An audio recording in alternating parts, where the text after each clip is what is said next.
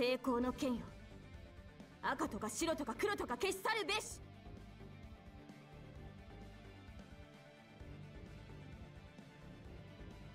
みんなには内緒だよ X カーリバー痛いではないか Hey guys, what is going on? With the upcoming Saber Wars event, uh, I know a few people have asked me to cover Mysterious Heroine X. Should you roll? Should you not roll? Is she a good servant? Is she a bad servant? Um, I did a little bit of research and I wanted to do a review on this uh, servant uh, and kind of give you an idea of what it is that you're going to be getting with this servant. Now, Mysterious Heroine X, um, she's kind of a, a little bit of a special servant. Um, her skill set is almost specifically meant uh, to fight saber faced servants. Um, she's here for, you know, the saber wars. Um, she's really good against sabers um, has a little bit of you know things here and there to help you out throughout the event um, by all means not you know a terrible assassin outside of the events um, but i'm going to get a little bit into like her skills uh, what you can kind of expect out of her. If you don't have uh, Jack the Ripper at the moment, or the other, you know, any of the other good assassins, uh, Mysterious Heroine X will definitely do a fantastic job for your team uh, until some of the higher servants down the road. Uh, currently on the Japan tier lists, uh, she is slated as a B tier uh, B tier assassin, uh, with only three other assassins ahead of her. Um, in terms of you know, tier wise. Um, in terms of waifu ability, uh, Mysterious Heroine X definitely has the um, has the assets to be a, a very good waifu saber face. Um, super cute uh, aesthetic outfit, stuff like that. Uh, dual wields, um, both uh, normal and uh, Excalibur Morgan um, swords. So that's really cool and has a really fantastic looking noble phantasm. Uh, so a couple of her pros are she's definitely a high critical star generation uh, engine, um, even though it's not as high as Jack the Ripper due to one less hit on her quick card. Uh, it is still on par with other servants such as Okita, um, Gilgamesh, uh, and other ones. So she's definitely a, a crit star generator, um, and and brings a lot to the table if you're trying to do um, if you're trying to do a quick uh, crit team. Um, her NP uh, is a star generation tool, um, and it's it's possible to use um, her NP as a tool to generate large amounts of critical stars uh, because a it's a quick type and it has multiple hit. It's got quite a few hits. Um, so that's really good. Um, usually, if you you're going to get about 15 to 20 critical stars with overkill on that. Um, and since you would want to use her on a quick team that that way you trade off raw damage output for a high critical rate uh, and damage dealt may be somewhat inconsistent um, on that but uh, her np even at level one deals quite a lot of damage without any buffs so it's uh, it's apparently comparable uh, to Scathach's np I'm not 100% sure uh, how I feel about that uh, or what the raw numbers are. I'm, I'm pretty sure I could look that, you know, I'll, I'll look that up at some point just to see if that uh, is the case. But with pros, obviously she's going to come with cons. Um, her skill set's hard to use, um, it's kind of mediocre. Um, and we'll go over that. Let me let me bring up her current skill set here. Uh, so as you can see, fire support is her first skill right out the gate. Uh, you gain a delayed stun buff. Uh, if present after attacking on the next turn, it has a chance to stun all enemies for one turn. Now, at first you're like, oh, this could stun all enemies. after one turn, yeah, that's cool. But if you look at these numbers, at no point do you even get 100%. Uh, at rank 10, you get 80%, which is not something that I want to rely on. Um, I wouldn't use this as a, oh my goodness, they're going to, you know, wipe my team next turn, you know, or whatever. Let me use this to prevent that until I can get something, you know, pulled out of my rear end. Um, it is, uh, yes, it never reaches a 100% success rate. Um, not only that, it triggers one turn later. So you're going to have to have some prep time on this. Um, so it, it's going to be a little hard to a, hard, a little hard to use and a little hard to um, uh, set up. Now her second skill, uh, Instinct C, uh, pretty pretty standard crit star generator. Um, you know, super super straightforward. Uh, it's not the best one in the game, but it's not that bad.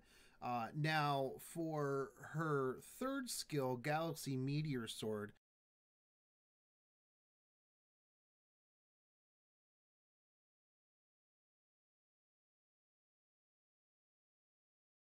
attack and plus 50 star generation um, against saber enemies. So it's really nice to have, but like outside of the um, outside of the event, you're not really going to use this very often uh, because you're not going to really run into too many uh, too many saber faces um, in the game. Now, one of the other things that she has is uh, low survivability. Um, she doesn't have any evasion. She doesn't have any uh, invincibility in her skill set. Um, her stun is, you know, uh, a chance. It's a so. Um, she has a really hard time uh, surviving in long battles without um, any additional support from her party members.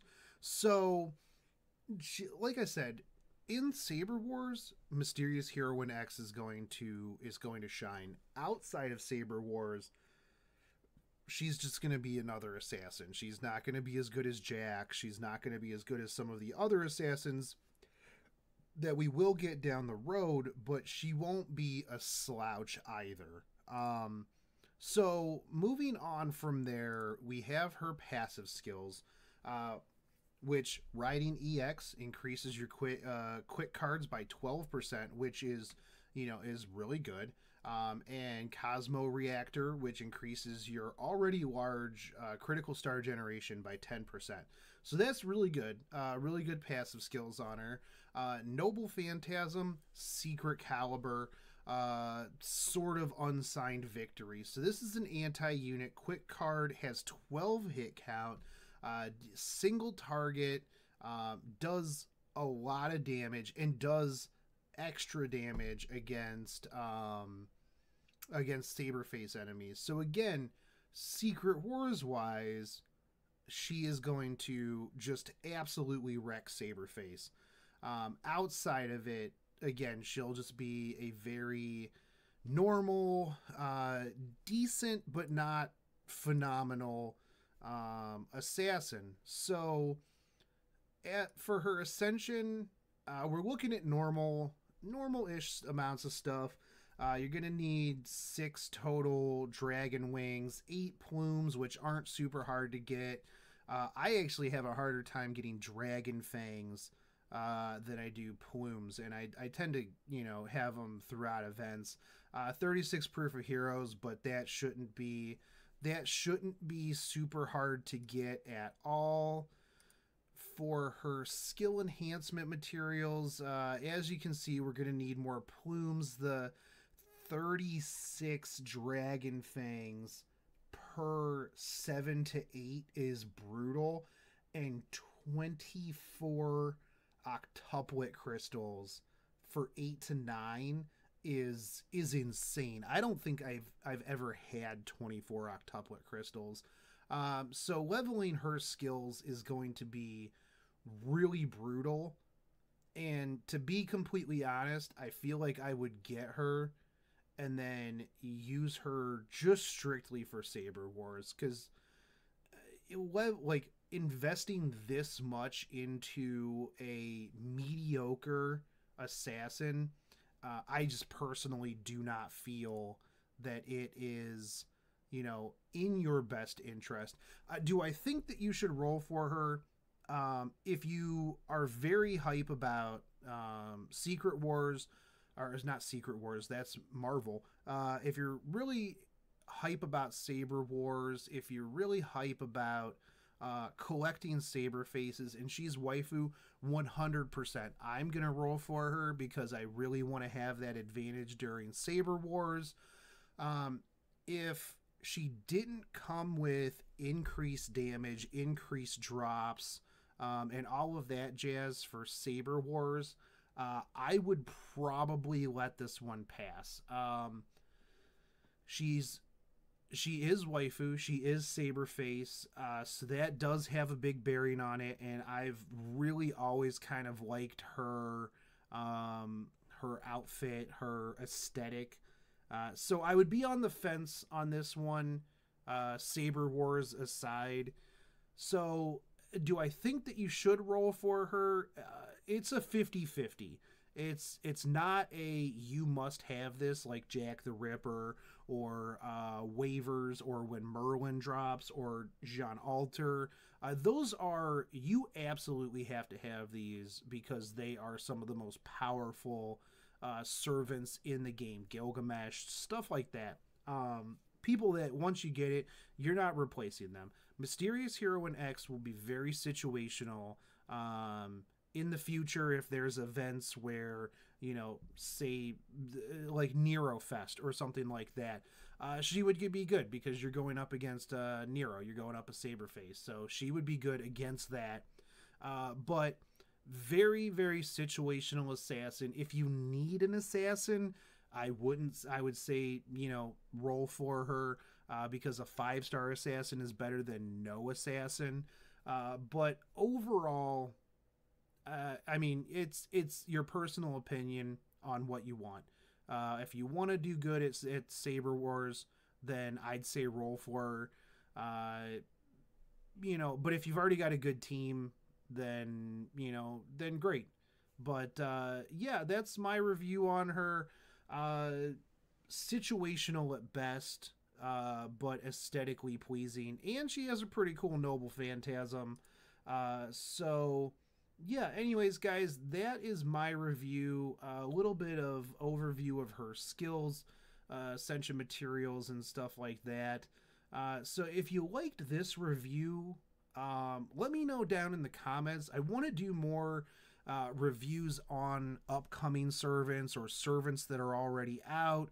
Um, and you know let you know whether or not you should be rolling on these things or what they bring to your team uh, stuff like that. So if you want to give me some comments down below on what you liked about this, what I could do better, um, absolutely let me know because I'm always trying to evolve the channel. I want to move, I want to have some stuff to do while I'm not literally throwing money in the trash on rolls.